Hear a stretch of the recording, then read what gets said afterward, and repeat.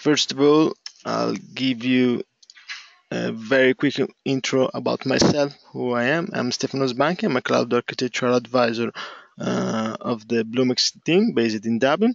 I work with uh, Rebecca with the, for the Nordics uh, and Alex. And then my background is basically as developers, uh, primarily in Java and C Sharp. Anyway, uh, a quick agenda about today's webinar. We'll give you uh, a quick intro on the Bluemix console and how to set up uh, organization, users, roles, and uh, spaces.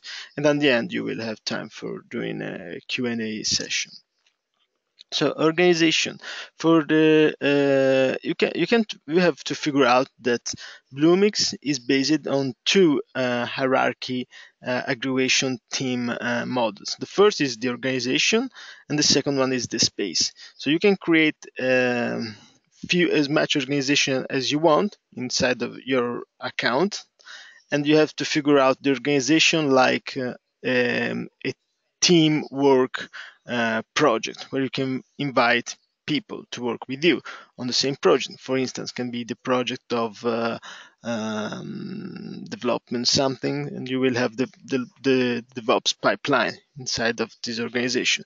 Uh, for instance, if you in your company uh, you plan to develop an app for cars or mobile. So you have, have the organization of uh, uh, a specific uh, project, for instance, um, uh, cars and engine. Another project related with um, uh, healthcare or something like that. And inside of each organization, you can create the spaces. You can figure out the spaces like uh, the um, the environment of your app. So you will have probably development, testing, and production. And in each of them, you can have more than one app, obviously, and probably uh, you will have different uh, database storage. So you will have in parallel the app connected to the uh, database uh, development, the development space.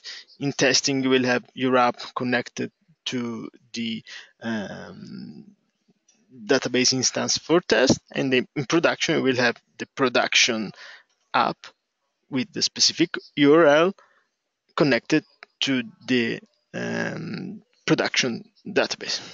So in inviting the roles, you can uh, invite um, uh, people using uh, their email so uh, once uh, and you can give the grant at the organization as manager, so they can create other spaces, and invite other users, giving uh, the grant.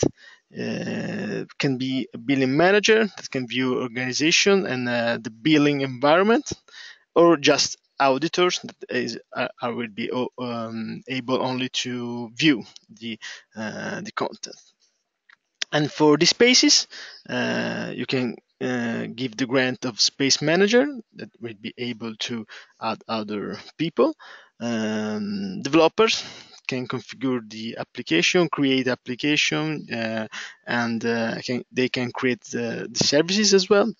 Or they can be just auditor and will be they will have access in read-only mode. So let's jump directly on the user interface.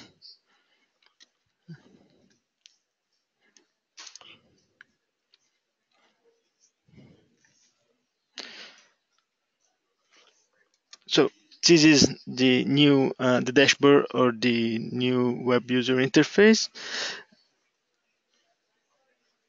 Here on top on right, you have the account.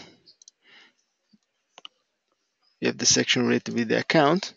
This is my user profile. And then you can set up from here, from this menu, uh, the uh, your organization. So first of all, you can go to manage organization. And from here, you can create as much organization as you want.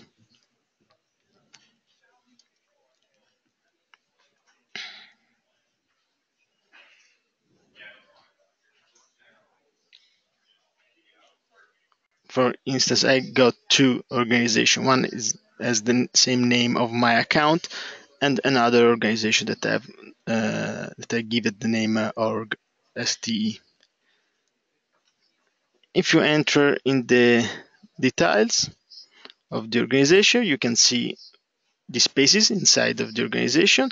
You can add spaces from here as much as you want, specifying uh, in which uh, um, region you want to do that. Now I'm connecting UK, so I will give uh, I will enter a new space, new space.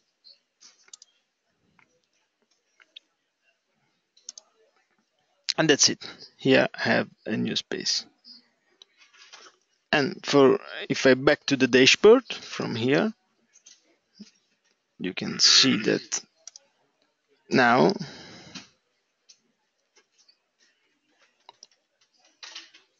I'm connected to the dev to the dev space where I have two app and one service. I can switch to the new space that I've called new space where actually I don't have any uh, app or uh, services. So if I want to uh, add people uh, to my organization or spaces, I can go here in invite team members.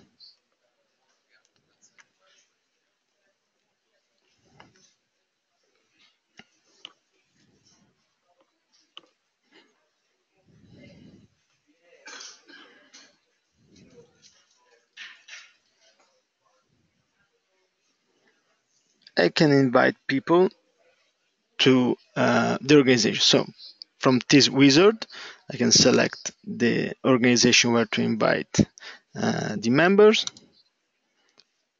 Then the, the spaces, I can invite probably to more than once to all, all my uh, dev production and test and new space uh, inside my organization. And then selecting in uh, which region, giving the uh, the specific uh, grant. As I said, uh, I can invite uh, organization managers are who can create spaces and add users in the organization. Billing manager can view organization charges. Auditors can view organization, organization and space content. For this, the space roles, you can have a space manager that will can uh, add users to the space. The developers can add and configure application and services, and auditors can only view the content of the space. So, giving to the uh, to the uh, account the auditor, they will have just uh, read-only access. Here you can enter the address of the um, uh, of the people that you want to invite, the email address, or you can uh, here do invite uh, um, and I can say with uh, you can do a bulk bulk invitation inviting more than once so you can for instance uh, uh type more than email gmail.com or whichever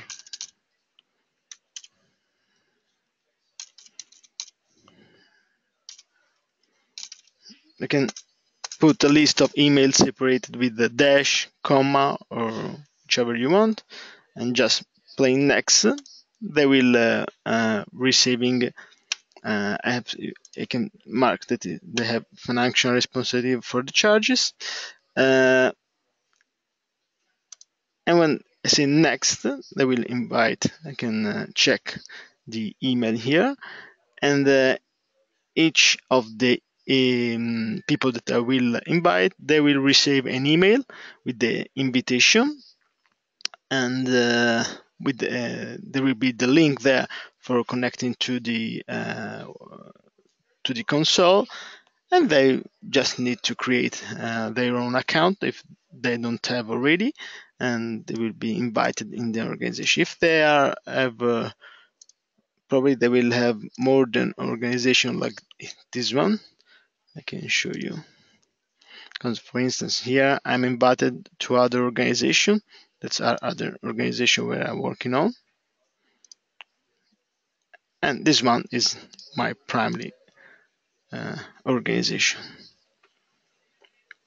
On the usage dashboard, you can see the usage of the uh, only the uh, who has the grant for watching this is able to see the usage uh, of the entire organization. And you can set up uh, a quota manually uh, for each organization and uh, an alert system.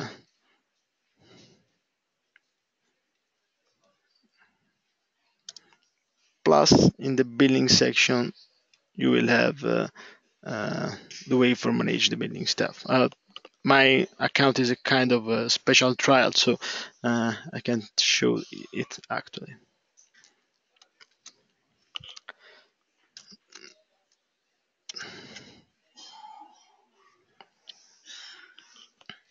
So, if you have any questions,